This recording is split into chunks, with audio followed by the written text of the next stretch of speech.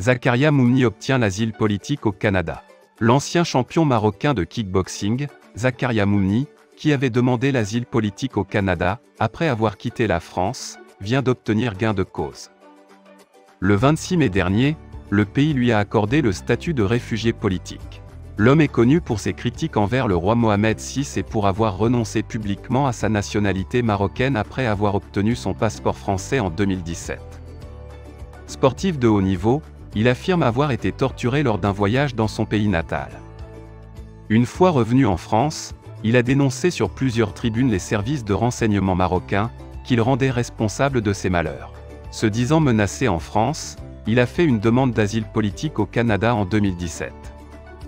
Une requête à laquelle la Commission de l'immigration et du statut de réfugié de Montréal a finalement donné une suite favorable, estimant que les autorités françaises n'ont pas démontré une volonté suffisante à le protéger contre les menaces et agressions liées à ses positions politiques, rapporte la presse. La récurrence des menaces, la capacité des agresseurs à le repérer chez lui et à l'attaquer, la continuation de cette situation sur plusieurs années, amène le tribunal à conclure que le demandeur a été victime de persécutions politiques en France, énonce la décision. Et de conclure que, en tenant compte de l'ensemble des menaces et l'attaque dont il a été victime, il en ressort que les autorités françaises n'ont pas démontré un minimum de volonté à le protéger.